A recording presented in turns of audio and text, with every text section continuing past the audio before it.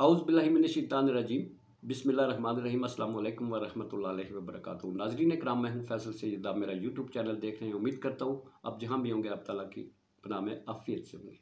नाजरीन 28 मई, बड़ा दिन हमारे फ़ख्र का दिन।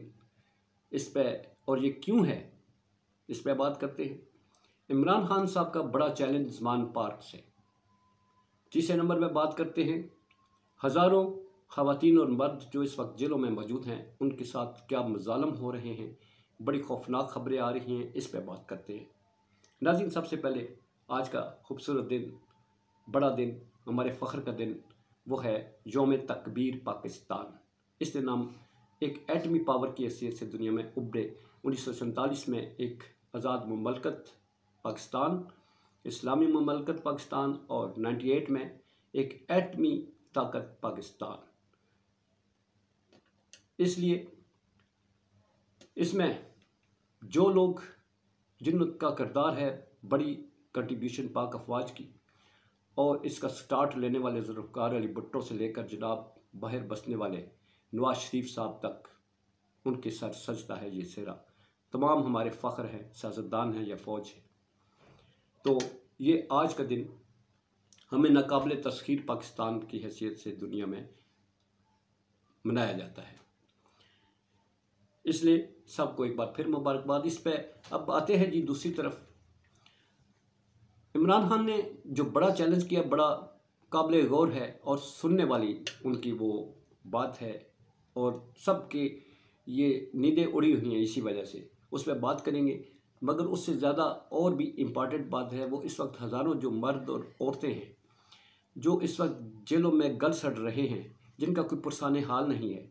वो बात करनी बहुत ज़रूरी है। आपको मालूम है कि नौ मई के मनहूस दिन जो है, जो वाक़ रूनमा हुआ, जिसमें हमारी पाक अफवाज की तनसीबात को एक सोचे समझे मनसूबे के तहत निशाना बनाया गया और उसके नतीजे में जो जिन पे मुकदमात बने, जो सियासी कैदीन हैं, जो इनमें मुलवस जिनका कहा जा रहा था कि ये मुलवस है, वो सारी जान छुड़ा गए। ये लोग पहले भी खुशहाल थे, हुकूमत के मज़े लूटे और फिर ये सारे कुछ करवाने के बाद ये फिर बैठ गए हैं। एक तहरीर जो है, उस पर अपनी गारंटी देकर।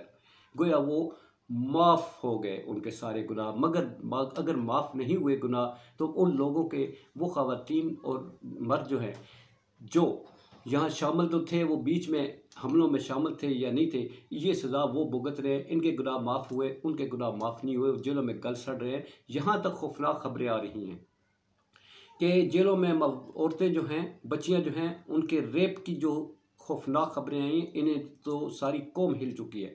रात को राना सनाउल्ला साहब की जो प्रेस कॉन्फ्रेंस हुई है, उसका अभी तक कोई जो इंटरसेप्शन हुई थी, फ़ोन रिकॉर्डिंग अभी तक मंजर आम पर नहीं, जिसकी वजह से और ज़्यादा शकूक शुबहत बढ़े। हैं हुकूमत का काम है कि इन शकूक शुबहत को दूर करें और इन कारकुनान को फौरी गिरफ़्तार जो किए जा चुके हैं, इनको रिहा किया जाए। हम अपने मसल्ला अफवाज के जनाब कमांडर इन चीफ हमारे जो आर्मी चीफ हैं, जनाब सईद आसम मुनीर साहब, उनसे तो लगाए बैठे हैं कि वो इनको ज़रूर रिहा करवाने में अपना किरदार अदा करेंगे, क्योंकि सियासतदान अपने सियासी इंतकाम के ज़रिए लोगों में नफ़रत बढ़ा रहे हैं और इस नफ़रत के बीज जो बोए जा चुके हैं, इन बीजों का मदावा करने के लिए, इस नफ़रत का मदावा करने के लिए, मोहब्बत पैदा करने के लिए हमारे सिपा सलार पाकिस्तान को अपना किरदार अदा करना होगा। क्योंकि इस वक्त अगर पंद्रह हज़ार कैदी हैं तो अगर औसतन तीन लोग भी एक फैमिली है तो पैंतालीस हज़ार लोग बनते हैं। सिर्फ़ ये पैंतालीस हज़ार नहीं, इनके जीज़ो रिश्तेदारों को बनाएँ तो वो लाखों में जाती है और लाखों की तादाद इस वक्त जो है, वो मुतनफ़र हैं। वो इन इकदाम से मुतनफ़र है। इन सारे शकूक व शुबहत को मिटाने के लिए जनाब हमारे सिपा सलार पाकिस्तान अपना किरदार अदा करें, वरना सियासतदान जो हैं, वो इस गंद को नहीं समेटेंगे।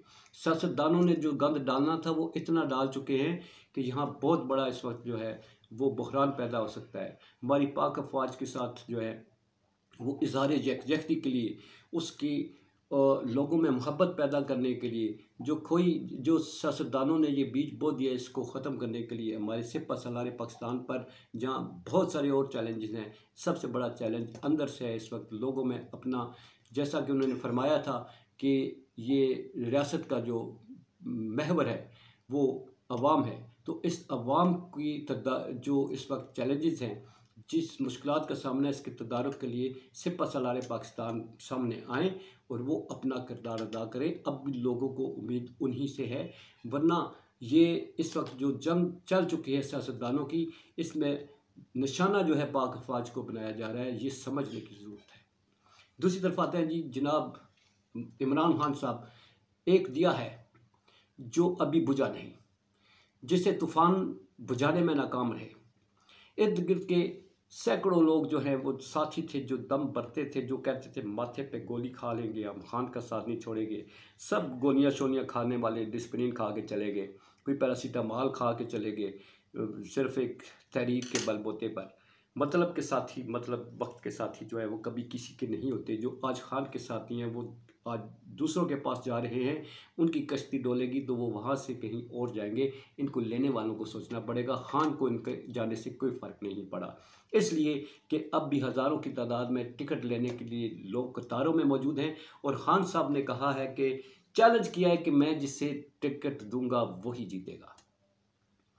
इसलिए कि आपने इन हज़ारों लोगों को अगर तोड़ भी लिया, ये जो टिकट होल्डर्स थे या इलेक्टिव ये इलेक्टेबल्स थे मगर ख़ान को इनसे फ़र्क नहीं पड़ता, इन लोगों को ज़रूर पड़ेगा। इसलिए कि जो लोग हैं, इस वक्त आवाम है, वो कहती है, हम इन लोगों को तो जानते भी नहीं।